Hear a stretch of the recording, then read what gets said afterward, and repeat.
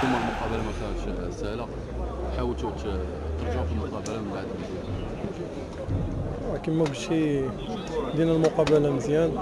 آه، جات ضربة جزاء اللي سجلها الفريق الخصم.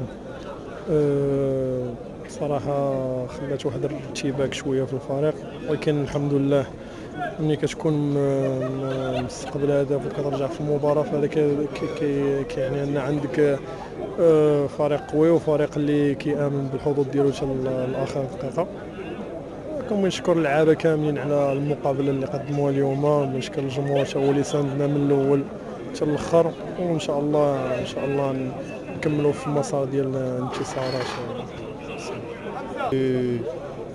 de prendre les trois points à domicile et tout.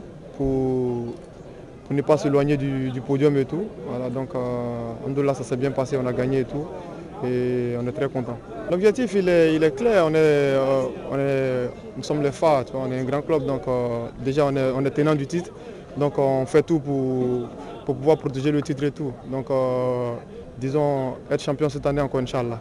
Je dirais pas, après c'était c'était un match, un match difficile. Vous avez vu, on est terminé et voilà, on n'a pas, lâché et tout. On est, allé pour d'abord égaliser et aller chercher la victoire. Euh.